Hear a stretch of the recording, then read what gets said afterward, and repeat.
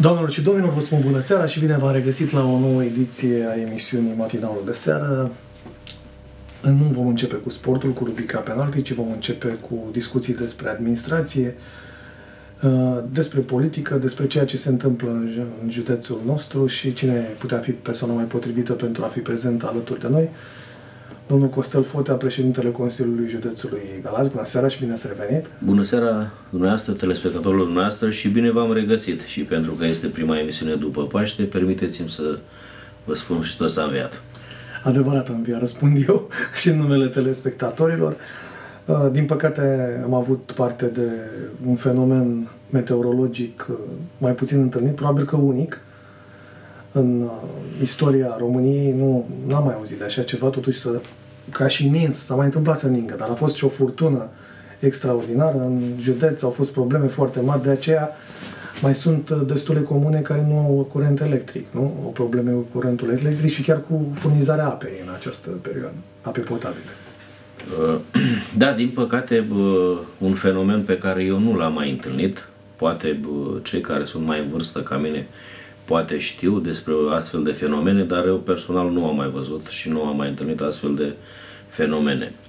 Și tocmai ce vorbeam de uh, sărbătorile de primăvară, de Paște, unde toată lumea știe că vine primăvara, uh, avem uh, haine mai subțiri, mânecă scurtă, pe data de uh, 19, 20, 21, uh, chiar 18, când a început să se strice vremea, a fost, uh, a fost ceva ce nu poți să-ți imaginezi pe 20 aprilie, troiene, zăpadă de peste 2 metri jumătate în județ. Deci pe alocuri unde drumurile erau în debleu, chiar am avut 3 metri de zăpadă, s-a așezat zăpada, o zăpadă grea, zăpadă bă, apoasă și, bă, așa cum am spus eu, nu știu termenul care ar fi, dar o, o zăpadă lipicioasă, apoasă, și bă, s-a lipit de bă, rețelele electrice, s-a lipit foarte bine și s-a bă, tasat foarte bine, astfel încât în momentul în care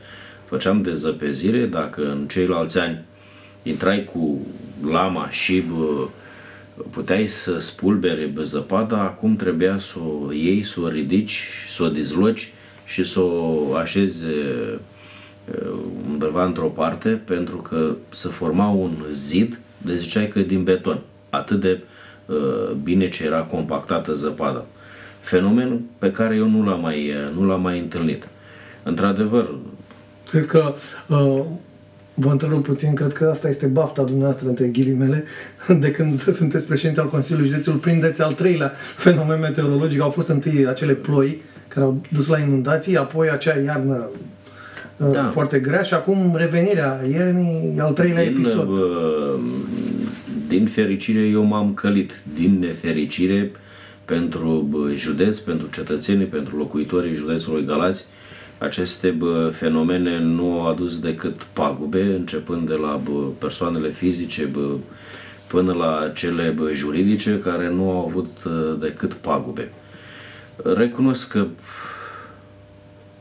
este groaznic este groaznic să ajungi în județ, un județ care vineri seară, pe data de 20, parcă, era complet blocat, în afară de, pe anumite zone, în afară de șenilate cu care reușeam să scoatem oamenii din uh, zăpadă sau din anumite bă, uh, sate, pentru că și bă, noi făceam dezăpezire, dar știți că uh, vineri după amiază, joi noapte, a fost uh, cel puțin joi noapte, joi spre vineri noapte, a fost viscul ăla, zăpada aia puternică, practic nici nu puteai să acționezi. Abia dimineață, vineri dimineața am început să acționăm până la 6, mai intens.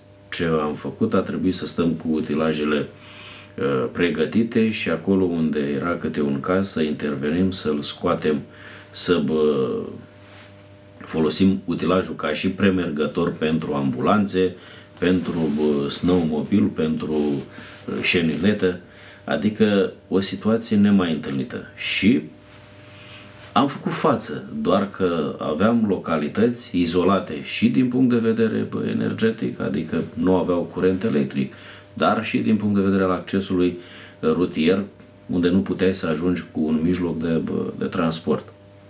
Vă spun, și probabil ați văzut și pe bă, Facebook că mulți au mulți dintre cetățeni au postat, au pozat bă, nămeții și bă, munții aia de zăpadă, zăpadă de 2 metri jumate, 3 metri.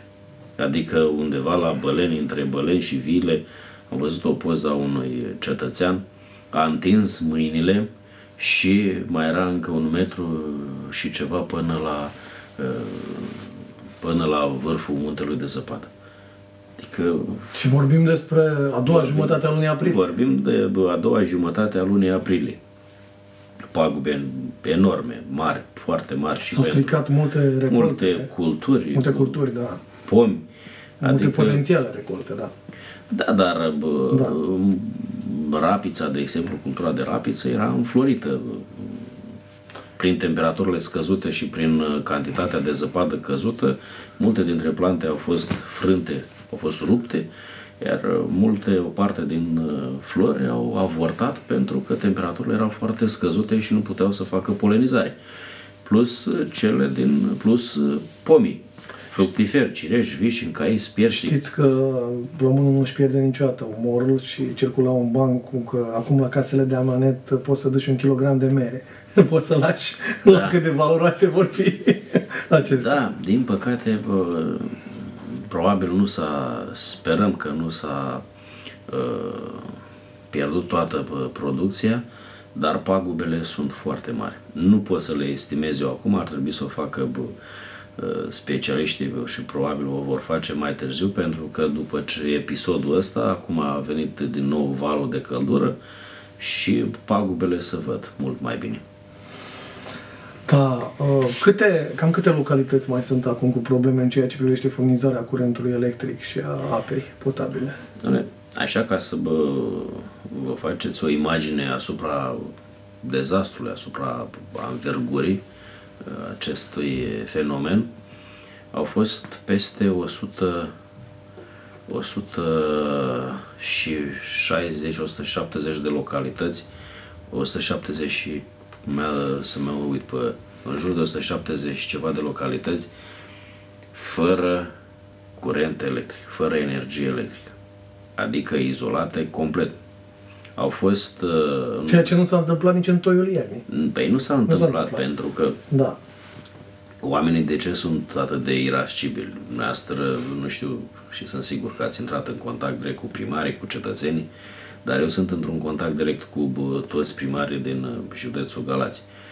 Uh, presiunea pusă de către cetățeni pentru că deja au ajuns și ei la capătul răbdării, pentru că vorbim de o săptămână și de când așteaptă 8 zile, 9 zile, de când așteaptă să se facă racordarea la rețeaua electrică, unii dintre ei au frigiderele pline, unii dintre, ele, dintre ei aveau incubatoare, oameni de bă, afaceri, mici bă, comercianți cu vitrine frigorifice și tot așa mai departe, pierderile sunt uh, foarte mari. Și uh, revenind, au plecat de la vreo 170 de localități fără curent electric uh, și astăzi, la ora dimineață, când am primit informarea de la ISU, mai erau 18 localități, dar când vorbim de 18 localități fără curent electric, nu vorbim de 18 localități 100% fără bă, energie electrică. Vorbim despre localitate, o localitate în care bă, energia electrică este furnizată doar pentru 70, 80, 90% dintre bă, cetățeni beneficiari. Unele au procentul mai mare, altele mai mici, de exemplu sunt localități unde mai sunt 40 sau 50 de gospodării neracordate la rețeaua electrică și îmi vine acum în minte, de exemplu, la Grivița, unde sunt 60 de, 60 de case, pentru că sunt 18 stâlpi căzuți, nu au reușit uh, cei de la Electrica să-i planteze și cei 60 uh, de proprietari, cele 60 de familii nu au energie electrică. În schimb, toată comuna are energie electrică.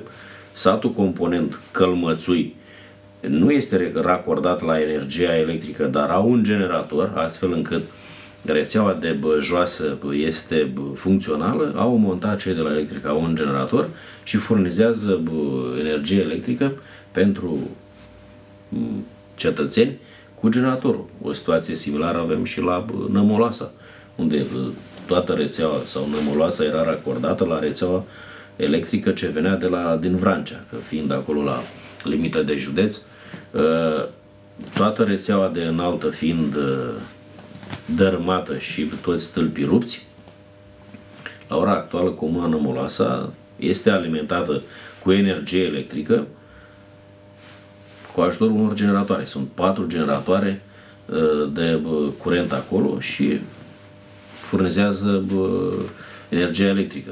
Au o situație uh, din asta mai avem și la Cavadinești, la Vădeni, între drumul național DN26 și Vădeni, pe o distanță de, nu știu, de vreo 10 km, cred că sunt 7 km, sunt, au fost 26 de stâlpi rupți.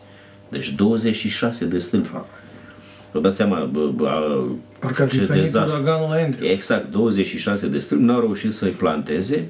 În schimb, rețeaua din uh, sat, din uh, localitatea Vădeni, e funcțională, au reparat-o și au dus un generator acolo, furnizează energie electrică până vor repune, dar V-am spus, sunt 18 localități în care nu avem curent electric 100%.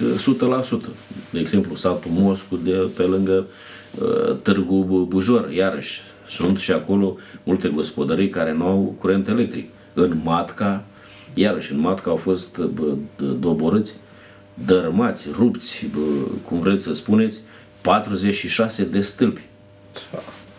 Iar din ce spun ce de la, de la Electrica și încă nu s-a finalizat, au fost peste 400 de stâlpi de joasă tensiune și peste 450 de stâlpi de medie tensiune.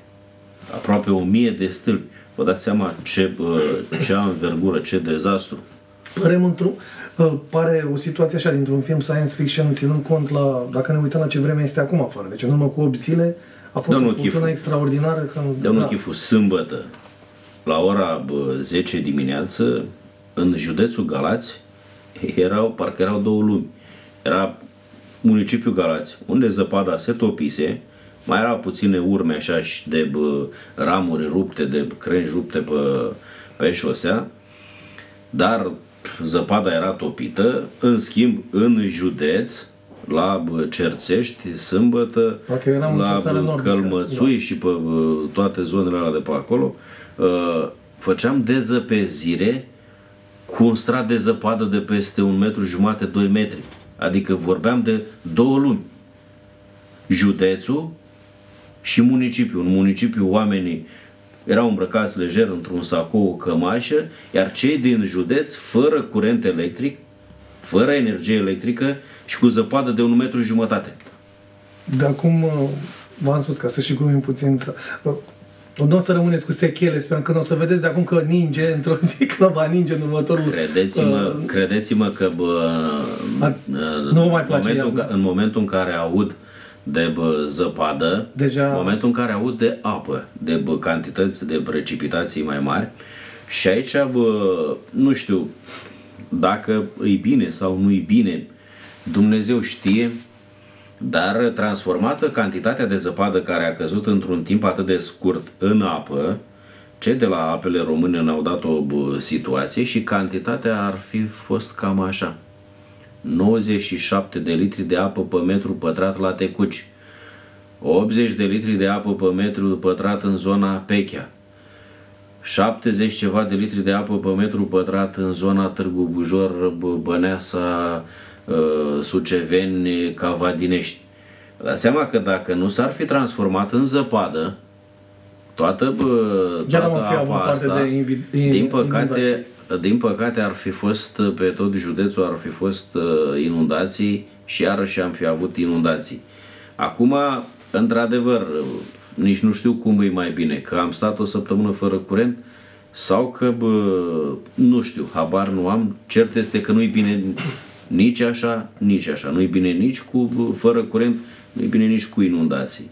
Acum se lucrează bă, cei de la apele române s-au implicat și bă, lucrează de câteva săptămâni bune pe zona bă, Suhu și Gero și bă, cele două uh, râuri sunt decolmatate, să încearcă decolmatarea chiar lărgirea albiei râului, astfel încât capacitatea de a prelua ape bă, de pe afluenți și, bă, eu știu, de pe versant să fie mult mai mare. Dar vă spun, cu riscul de a repeta, dacă, dacă această zăpadă ar fi fost doar ploaie. Nu știu ce ar fi fost în condițiile în care bă, încă mai primesc și acum avertizări de la cei de la ISU, a început să se retragă bă, și Bârladul, dar la un moment dat, prin județ, inclusiv la bă, Munteni, inclusiv la Braniștea, bă, prin județ, cei de la ISU au dus motopompe speciale din alea mari, cu bă, furtune din alea mari, pentru că începuse să iasă, să iasă râurile din matcă, inclusiv Bărladu și alte râuri mai mici. Adică deja când a început să se topească zăpada și venind și dinspre Vaslui, apăruse și riscul de a avea inundații. Adică gândiți-vă cam așa. Fără în joi noapte furtună, viscol, zăpadă. Cantitate mare de zăpadă. 170 de localități fără curent electric. După care de marți, pericol de inundații. Au apărut alunecări de teren satul Izvoarele. A apărut o surpare și o alunecare de teren a, unu, a alunecare a unui mal pe râul Oarba la Suceveni. Și ca să fie totul complet, s-a tasat un drum județean la, pe drumul județean 241G la Țepu, uh, miercuri, după amiază, am trimis o echipă la fața locului, o echipă de ingineri, să constate uh, dimensiunea și uh, să-mi sugereze, să-mi dea o soluție tehnică pentru a repara acea cedare în fundație, uh, diferența de nivel de cedare era de 40-60 de centimetri. Joi, uh, miercuri, asta s-a întâmplat marți, marți, miercuri seară, deci miercuri seară, în condiții în care miercuri am făcut ședință de comandament județean pe situații de urgență am rugat colegii să aprobe să putem să intervenim în regim de urgență. Am făcut tot ce a trebuit, s-am dus utilajele acolo să intervenim în regim de urgență. Miercuri seară când ne-am dus la fața locului, cu tot cu utilaje, să ne apucăm de treabă, să facem decopertare, să tot ce era nevoie acolo, diferența de nivel, cedarea în fundație, diferența de nivel, spuneți dumneavoastră cam cât credeți că era aproape 2 metri. Mă gândeam la un metru și jumătate, așa maxim. Deci era 1,80 și uh, 1,80 Deci aproape 2 metri, par, parcă a înghițit drumul județean cu, pe, pe o lungime de aproape... Era cu 10 cm mai mică decât înălțimea da. mea. Deci, deci era în, în, în nici 24 de ore s-a lăsat, a cedat terenul drumul județean care are și el în structură, are fundație, care are straturi de bă, balast, de piatră, de pentru stabilizare, plus bă, stratul de covor asfaltic. Deci, efectiv, aproape 2 metri, practic s-a dus așa într-un hău. Bine, am reușit, s-a făcut o rută alternativă, nu înconjoară foarte mult, doar 2 km pe un drum din ăsta făcut din piatră, și uitați, într-un timp de foarte scurt, pe durată de o săptămână, câte probleme. Deci câte probleme. Credeți-mă că noaptea mă culc la ora 12, 1 noaptea pentru că mai are unul o problemă, mai sună primarii. E de, ia legătura cu cei de la București, directorul general electric la București, la Ploiești, la nu știu ce, am rugat, au venit la Galați, ne-am întâlnit, pentru că bă, oamenii bă, sună, oamenii sunt disperați, a trecut foarte mult timp și oamenii bă, nu mai au răbdare. Iar toate bă, supărările lor, toate bă, supărările lor se răsfrâng asupra primarului. Primarul unde le răsfrânge după aia? Apropo, uh, am discutat cu cineva, nu o să dau numele, sursele presei Da, nu sunt se, confidențiale. Nu, sunt confidențiale, nu se, uh, nu se descoperă, nu se prezintă. Uh, care e situația cu... Pentru că au fost uh, foarte multe acuzații la adresa celor de la Electrica. Am văzut și pe Facebook, în sfârșit. Eu am încercat să le explic unora, pentru că în România există o ANRE-ul, Autoritatea Națională de Reglementare a Energiei, unde sunt numite anumite persoane pe viață, ceea ce nu mi se pare normal, nu știu cine, nu știu cum s-a moștenit acest uh, obicei, unde sunt, unde au și niște salarii frumușele, am înțeles că directorul avea peste 10.000 de euro pe lună, mai mult. În sfârșit. Uh, și aceștia uh, gestionează bugetul electrică. Și mi-a spus cineva că media de vârstă a lucrătorilor de la electrica este de 50 de ani. Nu se angajează oameni, nu se fac investiții în utilaje, în, ma- în, uh, în mașinile de care au nevoie, pentru că știu că o mașină de la electrica, care, de exemplu, mașinile care se ocupă de județ, Uh-huh. Uh, una dintre ele trebuie să acopere o zonă foarte mare. Deci sunt patru mașini în tot județul, ceea ce mi se pare extrem de puțin și la un moment dat sunt explicabile. Deci oamenii sunt înjurați pe nedrept, după părerea mea, cei de la Electrica. Ar trebui să fie întrebați acești, acest sfat al bătrânilor că de la ANRE ce de fapt ce se întâmplă cu, cu această societate care ar trebui să... Acum mă are și monopol. Acum nu știu, uh, nu știu cum să răspund la, bă, la întrebarea asta dumneavoastră, dar Nu, am uh, prezentat problema. da, normal. ceea ce, bă, ceea ce bă, o sursă va bă, prezenta. Din punctul meu de vedere, lucrurile stau cam așa. Electrica totuși este o bă, societate cu capital bă, privat, nu este majoritar privat. Nu este o bă, societate bă, cu capital de stat, pentru că mulți mă întrebau, domnule, de ce nu te implici? De ce nu le mai dai niște bă, bani acolo? De ce? Domnule, e o societate privată. Noi nu putem să facem alocări bugetare. Da, din punct de vedere logistic, pot să fiu alături de ei cu bă, oameni, să văd, să identific soluții, să identificăm problemele, să le prezentăm, să fim alături de ei. Doar că bă, acolo lucrează bă, oameni specialiști și nu poți să intervii și în afară de asta bă, au uh, doar cu logistică pot, să, pot să-i ajut. În afară de asta, tot ce a depins de noi, de la Galați, toată lumea. Am, uh, bă, poate nu-i frumos cuvântul, dar am pus presiune pe bă, cei de la București, pe cei de la Ploiești, pe cei de la Galați. Dom'le, la un moment dat, când m-am dom'le, am luat peste de, din toată țara, de peste tot, am luat bă, angajați a Electrica și i-am dislocat, i-am adus la, la Galați aici să intervină. Doar că fenomenul este de o învergură și de o amploare atât de mare încât nu mai mult de atâta nici nu poți să faci.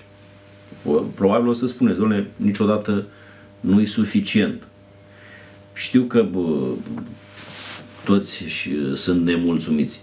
Eu nu iau apărarea electrică, Doamne ferește, pentru că uh, eu chiar m-am certat de foarte multe ori cu ei. Dar trebuie să vedem lucrurile și într-un, bă, într-un registru din ăsta, bă, eu știu, uh, normal.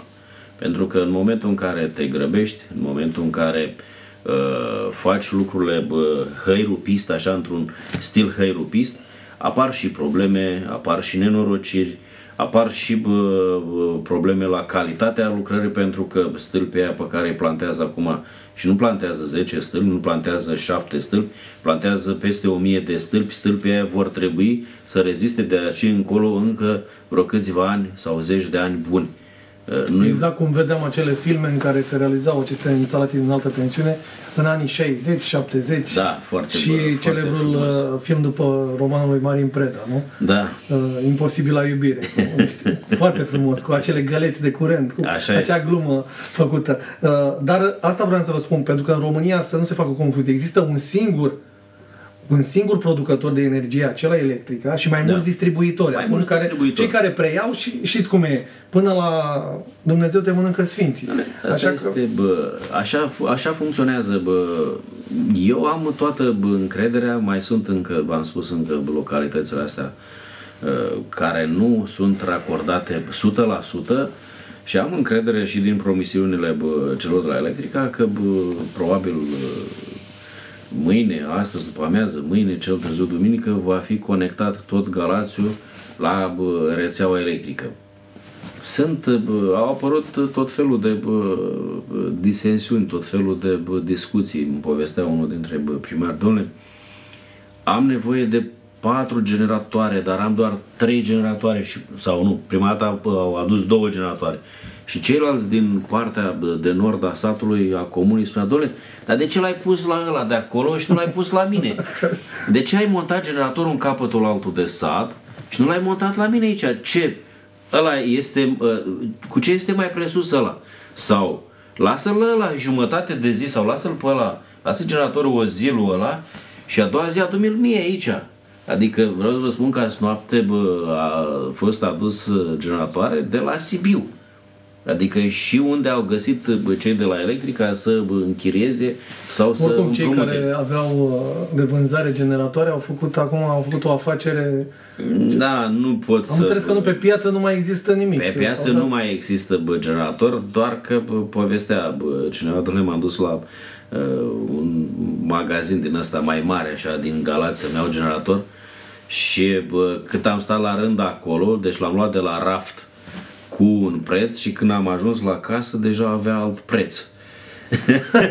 adică știți că cum e și în timpul războiului, unii se îmbogățesc și pe Da, adică nu știu, nu mi se pe pare, nenorocirile foarte- oamenilor. nu, Nu, e mi o, se pare normal. nu e o politică totuși. corectă de a face comerț. Nu este da? o politică corectă, dar uh, știți cum e corectul ăsta, comerțul general nu este o... Speculanții întotdeauna au Exact. trăit bine, cum se spunea. Nu? Speculanți sau bișnițari, cum le se spunea înainte, dar nu. e, e mai, altceva. mai, fac, mai glumim, Da, dar... normal, din dar a fost o situație- Dar din, acum, știți, uh, vorbesc puțin mai, uh, mai Relaxat. relaxat. mai degajat. Că dacă am vorbit și dumneavoastră știți că de uh, săptămâna trecută de sâmbătă sau de vineri m-a invitat să viu la emisiune și v-am rugat să aveți Exact. înțelegere. Stabilisem emisiunea Stabilisem și emisiunea. înainte de a veni nenorocirea către... Exact, și v-am rugat să aveți înțelegere că nu pot. Și am efectiv, înțeles, bineînțeles. efectiv, nu pot, pentru că ei sună bă, tot timpul uh, trebuie să intervii și să bă, mai departe și să-i susții, pentru că și ei și primarii la rândul lor au în spate 1000 sau 500 sau 2000 de bă, cetățeni nemulțumiți. Uh, Nu tot timpul poate unii reușesc să transmită mesajul atât de bă, repede la Electrica cât reușesc să mi-l transmită mie. Pentru că, v-am spus, bă, și fără excepție, uh, am o relație foarte bună cu toți primarii din județ. Deci, m, dacă o să vă întrebați vreodată vreun primar de la celelalte formațiuni politice de relația pe care o avem. Pentru că uh, important sunt bă, cetățenii bă, Galațiului, iar noi trebuie să facem lucruri pentru cetățeni. Și am o relație bună cu absolut toți primarii din toate comunele, din cele 63 de comune ale județului. Aceste trei etape de intemperii pe care le-ați avut de când ați preluat conducerea Consiliului Județului v-au călit. Acum, cu toate că spuneați că dacă vă treziți dimineața și vedeți că plouă, să se, deja începeți să vă gândiți la... Uh, aveți un- întreb, uh, după ce a fost uh, între cele două episoade sau uh, perioada de iarnă, atât în... uh, Știți că a mai fost o perioadă undeva în uh, martie, când uh, a început să se topească și bă, a fost uh, cu un gheț. Da. Și a- iarăși au început să se umfle bă, râul Gero și m-a sunat primarul la Slobozia Conache și spunea Vă dați seama când te sună primarul la ora 11 noaptea, Deja simțeați un, nu m-a, nu m-a sunat un să gol în mă stomac, întrebe ce da. fac. Da. Nu v-am sunat să vă spun că iarăși a ieșit râul din matcă și mai are 60 de metri și ajunge la case. Vă dați seama că în momentul ăla îți vine să, să rupi telefonul. Deci în momentul ăla îți vine să rupi telefonul după ce în 2013 au fost inundații și nenorocire ce a fost și atunci. 2016 la fel. Și tot așa mai departe. A fost iarna bă, groaznică pentru că fluctuații de, tem- de temperatură, bă, oscilații de temperatură, uh, când cald, când frig, bă, cantități mari de precipitații și tot așa mai departe. Deci, credeți-mă că În momentul în care te sună la 11 noaptea un primar, uh, sigur te gândești că s-a întâmplat uh, ceva. Înseamnă că atunci când v-ați trezit azi dimineață, astăzi dimineață și ați văzut soarele și ați văzut atât de Nu, frumos? azi dimineață când m-am trezit și am văzut atât de frumos și era ora șase jumate, la șapte fără un sfert m-a sunat primarul de la Nămoloasa că bă, au venit cetățenii peste el și dacă nu va mai avea un generator, nu știe cum depășește perioada următoare. Adică, bă, crede, Orice bucurie ține 5 minute, nu? credeți-mă că bă, știu ce înseamnă. V-am spus, bă, bă, faptul că bă, am o bă, relație bă, bună cu bă, toți primarii, nu ezită niciunul când are o problemă să sune. Ceea ce e un lucru bun, E un lucru bun pe de o parte, dar Pe pe, de de, o altă parte, parte, pe de altă pe de parte- altă parte nu mai aveți... uh, Asta este, până la urmă, Viața asta este, personală, până la da. urmă, asta este bă, rolul nostru. Probabil în 2020 sau când o fi, lăsăm locul la altul să mai vină să mai erodeze și altul, să-și mai... Asta o spuneți acum, dar uh, uh, sunt Da, proiecte pe știți- care vreți să le duceți la știți, capăt. Bă, în momentele astea uh, simți că bă, simți că e o presiune foarte mare și că bă, e foarte greu să duci. După ce trec uh, evenimentele astea și faci o analiză și te gândești, băi, ce am făcut? Păi am făcut aia. Rolul meu care a fost? Am ajutat niște oameni care aveau nevoie de ajutor. Am făcut-o bine, n-am făcut-o bine, a fost, am fost destul de eficient, ce ar mai trebui să fac? Pentru că oamenii care ne-au votat și ne-au trimis acolo, ne-au trimis în speranța ca noi să facem ceva pentru ei. De aceea nu avem voie să ne plângem. Vreau să vorbim acum puțin despre un proiect care vă este extrem uh, de drag și despre care am mai vorbit în emisiunea noastră. Este vorba despre acceleratorul de particule de la Spitalul Județean Sfântul Apostol Andrei, care e și spital de urgențe. Am citit că, uh, că lucrurile merg bine în sensul... Da. Uh, Zic eu că bă, lucrurile au început să se bă, să intre pe făgașul normal și să intre bă, într-o linie mai dreaptă, așa, știți, suntem cam pe ultima turnantă, așa. Uh, Săptămâna aceasta am avut o vizită de la Ministerul Sănătății, au fost și câțiva uh, posibili, potențiali bă, ofertanți, uh, pentru că pe data de 31 mai, adică maxim o lună de zile, toate firmele care doresc uh, să participe la licitație vor depune o ofertă. Și bă, au venit să vadă spațiu. Pentru că, bă, practic, partea de amenajare din interiorul buncărului, o parte, pentru că partea de simulator o amenajează bă, Consiliul Județean din fondurile Consiliului Județean, dar o parte din buncăr, partea de bă, izolare bă, cu bă, Pereți de pereți de plumb, plumb, de da, plumb, cu pereți da, de da, plumb, da. cu bă, ușă bă, de plumb bă, și tot așa mai departe, revine bă, celui care va câștiga bă, licitația. Și atunci toți cei care doresc să participe la licitație și au fost vreo șapte firme, vreo șapte reprezentanți ai unor firme, au Doar venit firme gălățenești sau și din toată țara? nu, din toată credeți-mă țara? că sunt din toată țara și din exterior. Pentru că valoarea, bă, haideți să vă știți, valoarea aparatului este de peste 3 milioane 500 de mii de euro. Wow. Adică, bă, nu știu ce firmă din Galați face acceleratorul linear de particule sau este Da, distribuitor de acceleratorul linear de particule. Sunt uh, firme uh, mari care bă, fac lucrul ăsta și bă, se ocupă de uh, distribuirea și distribuția de bă, aparatură medicală. Și atunci au venit toți, ne-am găsit cu ei, împreună cu conducerea Spitalului Județean și cu o parte din colegii mei de la Consiliul Județean, pentru că și noi trebuie să mai facem acolo câteva investiții.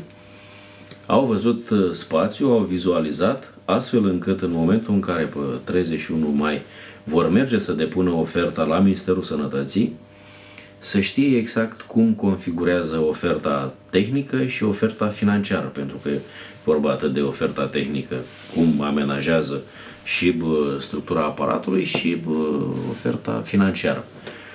Eu sunt bă, optimist din punctul ăsta de vedere, pentru că acum suntem cam în, pe turnantă și cam în linie dreaptă.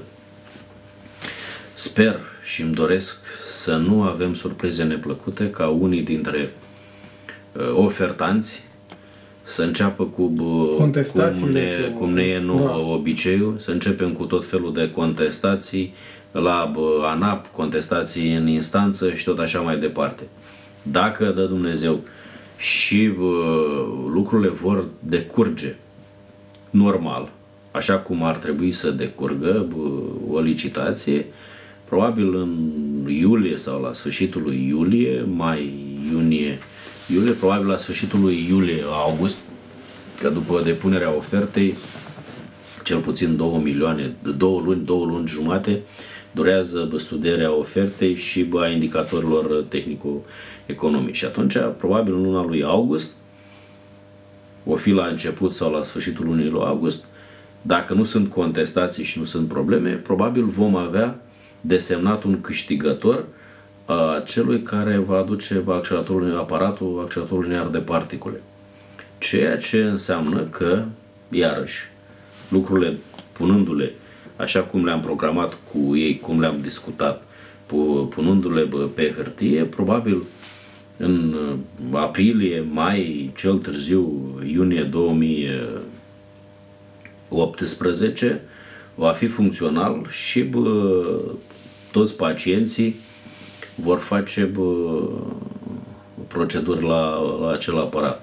Credeți-mă că este atât de important, iar uh, îmi pare rău că n-am știut că vom uh, vorbi despre bă, subiectul ăsta, că v- dacă vă aduceam niște bă, statistici cu bolnavii de bă, cancer, bă, procentul bolnavilor de cancer bă, anual sau cu cât crește bă, acest procent, rămâneți uluit, veți fi uh, cum să spun, eu am rămas siderat în momentul în care am văzut câți bolnavi sunt la nivel de România, câți bolnavi sunt la nivel de Galați. La Galați cred Anual- că e un adevărat record.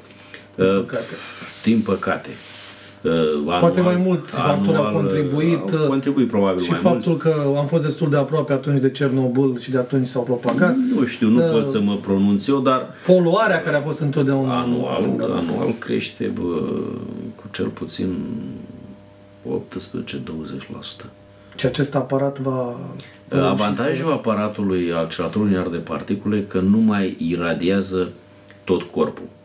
Pe când la cel vechi, la colba, cobaltronul ăla, e, făceai, când făceai iradierea, făcea bă, iradierea întregului corp. Acum se face iradierea exact pe tumoare pe bă, tumora respectivă, unde o ai, nu știu, în funcție de un- cum e ampla, cum e ea amplasată, diagnosticată, la ficat, la și tot așa mai departe. Și cu aparatul ăsta reușești să iradiezi doar bă, porțiunea afectată și doar acolo unde este bă, tumoarea.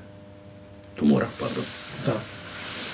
Uh, Ma- asta este, un, credeți, scuze, este un mare, bă, o mare realizare, un mare bă, avantaj și bineînțeles și un proiect că de suflet al dumneavoastră. este și un proiect de suflet și mai mult de atâta crește și bă, speranța de bă, viață și crește și bă, speranța de uh, tratare și uh, bineînțeles că și bă, procentul de bă, celor tratați va crește și bineînțeles și bă, Aveți avantajul de a, vedea, de a avea un medic lângă dumneavoastră, soția este medic și uh, înțelegeți mai bine ceea ce... Credeți-mă că bă, Importanța acestui- nu, din uh, păcate eu ajung seara la ora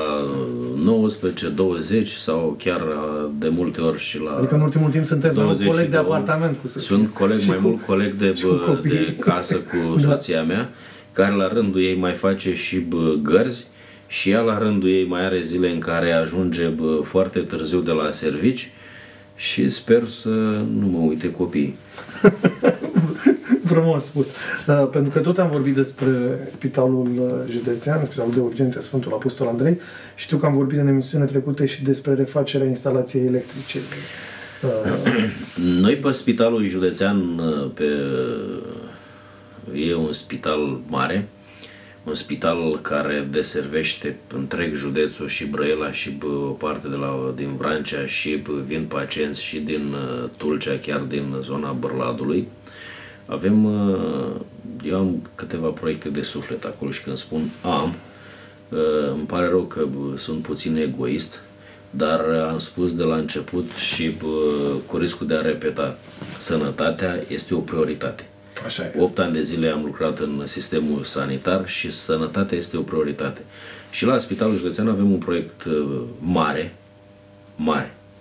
Și când spun mare, înseamnă un proiect de peste aproape 10 milioane de euro și aici vorbim despre tot ce înseamnă schimbat fluide, fluide menajere, pentru că spitalul are 48-49 de ani acușică, Vorbim de bă, fluidele menajere, vorbim de fluidele medicale, vorbim de climatizare în toate, bă, pe toate secțiile, vorbim de climatizare în sălile de operație, vorbim despre schimbarea, bă, acolo unde nu s-a reușit schimbarea tâmplăriei, pentru că mai sunt zone unde mai avem tâmplărie veche, vorbim despre bă, tot ce înseamnă eficiență bă, energetică, astfel încât uh, sper eu ca în 2020 să ieșim cu un spital să arate la nivel european.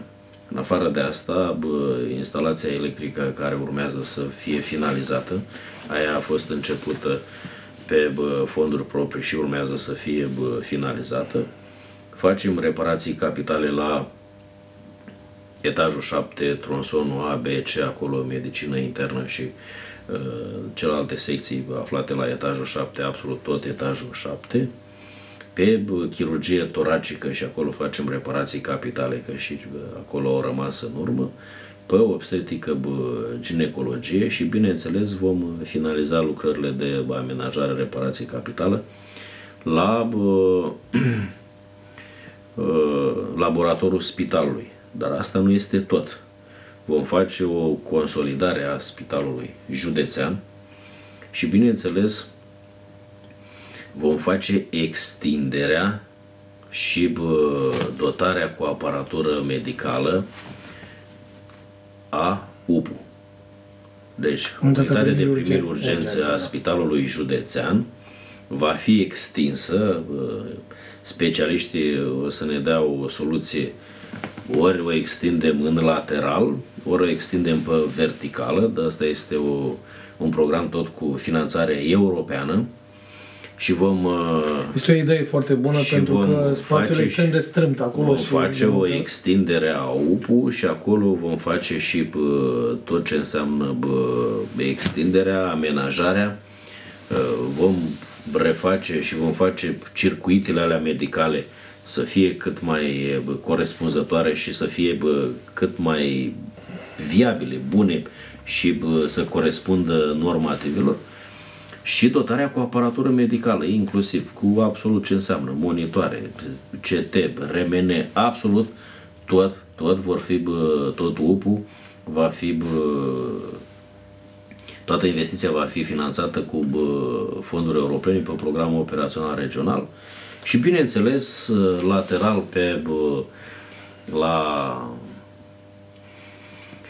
ambulatorul de specialitate, tot pe, cu finanțare europeană. Deci ceea ce vă spun eu acum sunt proiecte cu finanțare europeană. Deci aici Consiliul Județean uh, va avea nevoie de un cash flow și de bă, cofinanțare. Deci ceea ce v-am spus până acum sunt proiecte cu finanțare 100%, adică 98% european. Înseamnă un lucru extraordinar. Extinderea, bă, extinderea bă, ambulatorului de bă, specialitate, unde vom face în lateral o bă, prelungire acolo bă, și vom face bă, cel puțin 15 cabinete medicale cu săl de așteptare, cu bă, sală pentru, cu bă, cabinet pentru medic, cu, adică cu WC-uri, cu tot ce înseamnă uh, Uh, să corespundă din punct de vedere al circuitului medical și Singurul de dezavantaj, am putea să spunem, pentru că toate aceste lucruri trebuie să le faceți din mers. Adică în timp ce spitalul își desfășoară și activitățile normale cu pacienții. Uh, clar.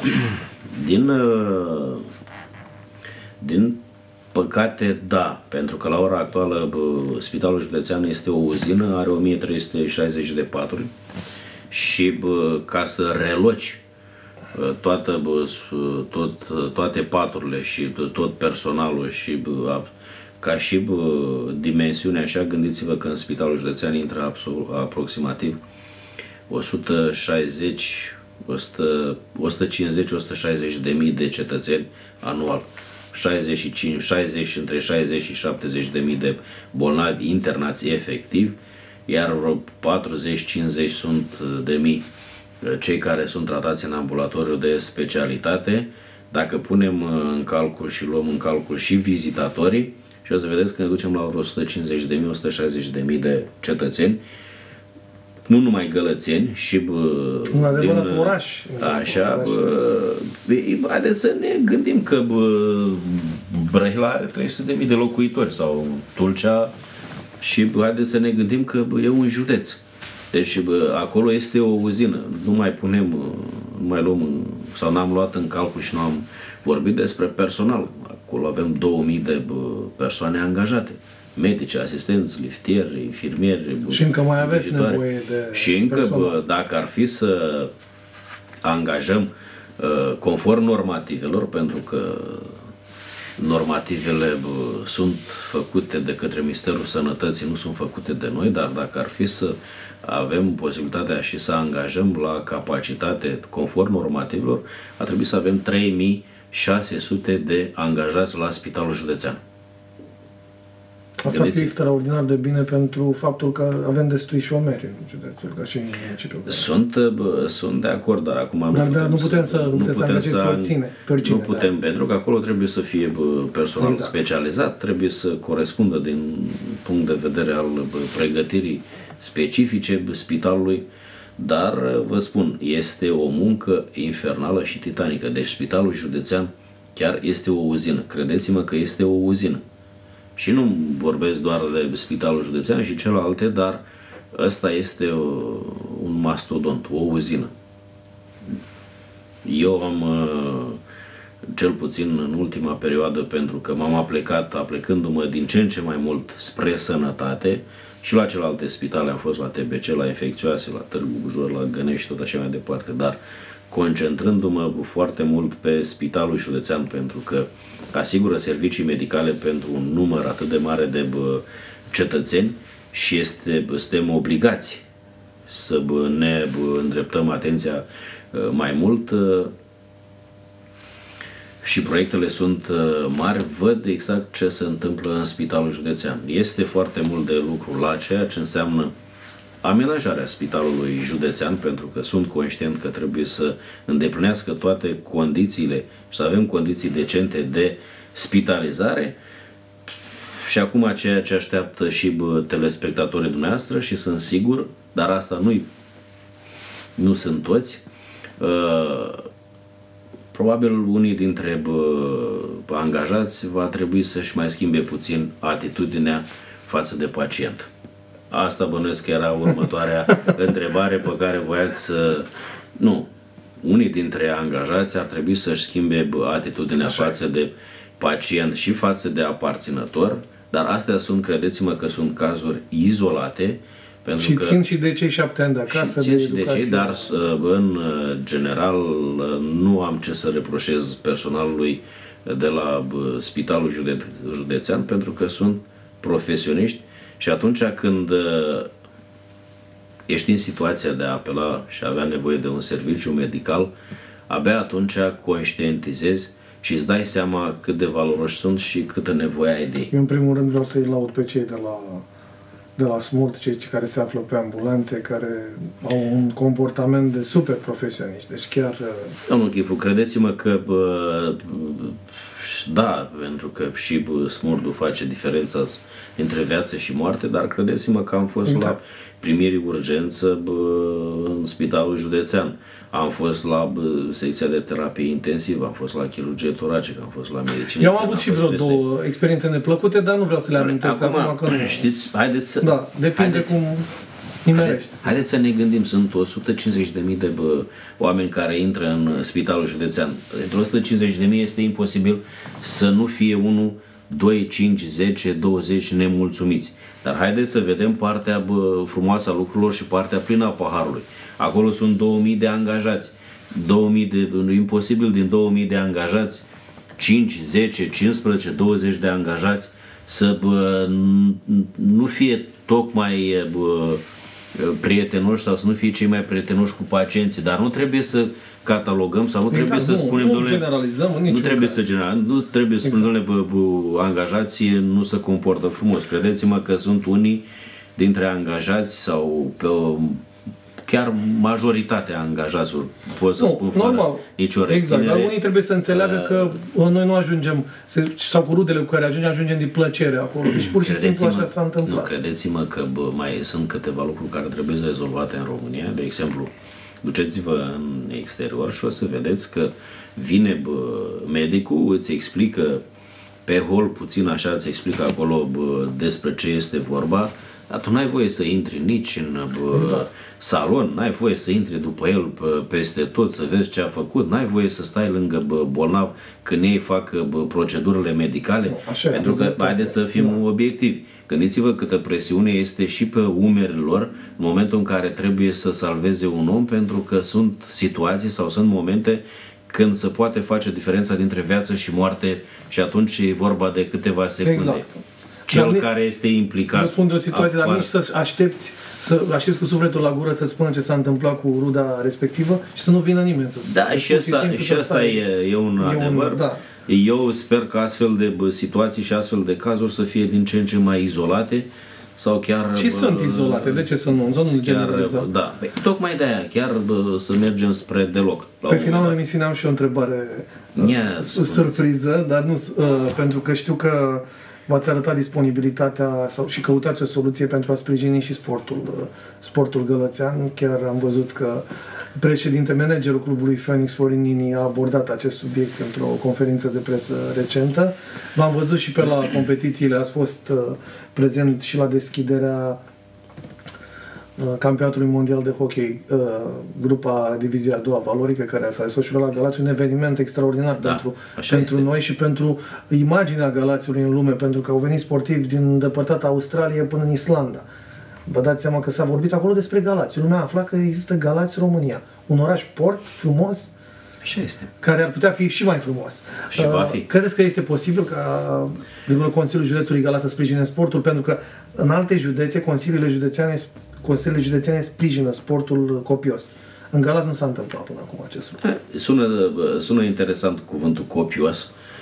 Deci nu știu ce înseamnă. Am văzut niște sume de, Nu știu ce înseamnă de sprijin Consiliul copi- Județului Constanța de ordinul milioanelor de euro. Copios, uh, mă cam îndoiesc puțin de ordinul milioanele de euro, dar nu știu, nu m-am uitat pe bugetul bă, celor de la Constanța să văd cât alocă. Doar așa cum uh, ați uh, sesizat foarte bine, atunci când uh, ministrul uh, Tineretului și Sportului a fost la Galați, Domnul Dunca, da? domnul Dunca în conferința de presă și după aia ulterior am mai avut, am mai discutat cu dumnealui că la meci am stat împreună, la meciul de hockey, uh, să dorește să, sau mai bine zis, a inițiat o hotărâre de guvern prin care s- să dorește să fie legiferat mai bine, mai clar, mai concret ce înseamnă bă, finanțarea sportului. Pentru că, așa cum spuneați dumneavoastră, ne putem uita la câteva bă, județe din România care finanțează bă, sportul, câteva consilii județene, care nu au probleme în momentul de față, dar în același timp ne putem uita și la câteva consilii județene Care au din țară care au foarte mari probleme. Adică președinții de consilii județene au probleme la ora actuală tocmai pe acest considerent. Și atunci, dacă se face puțină lumină în cadrul legislativ, adică așa cum se spunea, domnule, să, dau o hot- să se dea o hotărâre de guvern, o lege prin care să permită bă, printr-o hotărâre de Consiliul Județean, pentru că nu eu, președintele, trebuie să bă, decid, împreună cu consilierii. Și decidem că un procent de 2% sau 3% sau 100 de mii sau 500 de mii de euro, nu știu cât, abar nu am, cât bă, care va fi suma, să poată fi alocată pentru sport, fără nicio problemă, din cauza că sunt de acord.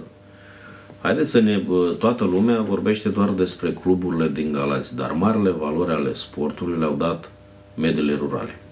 Deci, Da, putem să... Da, deci exact. dacă ar fi să facem o analiză, putem sp- și să ne uităm pe sportivii care au adus medalii de-a lungul timpului, au provenit din mediul rural. Adică toți sunt născuți în comunele și, Și în... atunci, ca și județ, pentru că oricum municipiul alocă ceva bani pentru bă, cluburile din Galați, sunt de principiu și sunt de acord ca și pentru mediul rural să dezvoltăm pe anumite zone sau pe bă, fiecarei bă, zone, de exemplu, la bă, trece acum prin cap Piscu. De la Piscu a plecat Nicu marele Vlad. halterofil bă, Nicu Vlad. Bă, La bă, Valea Mărului avem o echipă, sunt echipe de fotbal care deja Din Pechea au plecat doi mari boxeri, de- Lucian Buteș Pechea și a Cristian plec- Hemăr exact, a plecat din bă, Pechea și atunci în funcție de bă, zonă, în funcție de localitate, ce s-a dezvoltat de-a lungul timpului, să poți să-i sprijini, pentru că acum, astăzi, când vorbim, primarul de la bă, Piscu încă să chinuie și într-o sală mai impropriu așa amenajată, la ora actuală încă mai au copii care pleacă la bă, uh, olimpiade, mai au copii care pleacă la concursuri. La Târgu Bujor, uh, fostul bă, profesor, Dumnezeu să-l ierte, Berbeci, care a transmis fiului său, bă, Octavian Ber... Berbeci, uh, profesor de sport, i-a insuflat această dragoste pentru lupte. Lupte, Pentru da, știu. lupte și bă, a adus foarte me- multe medalii la bă, Târgu Bujor, copii care au plecat din zonă, de la Am înțeles, Băneasa, da. Jorăști, Deci vreți să Vârvesc. sprijiniți în primul Și rând atunci- sportul și rural atunci, pentru că acesta deci, să da. d- ca să poți să identifici valori, trebuie să pleci de jos.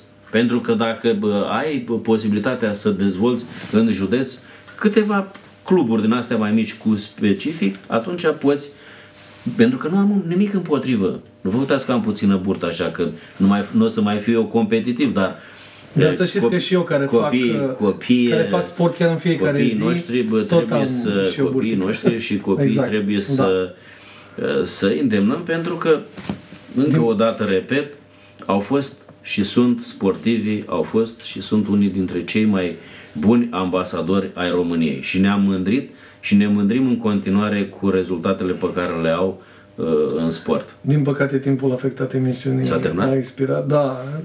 Vedeți ce repede trece timpul când vorbim despre lucruri interesante. Noi o să vă mai așteptăm în emisiunile noastre. Cu mare drag, pentru fost- că e nevoie să informăm Exact. uh, A fost alături de, telespectatorii. de mine domnul Costel Fotea, președintele Consiliului Județului Galați. Promo publicitate, după care urmează cea de-a doua parte a emisiunii dedicată sportului. Veți vedea despre cine este vorba, pentru că am făcut, Am un, înțeles, am ați făcut și o făcut trecere, legătură, o trecere. am făcut o trecere așa în stil uh, jurnalistic. Uh, Revenim în platou.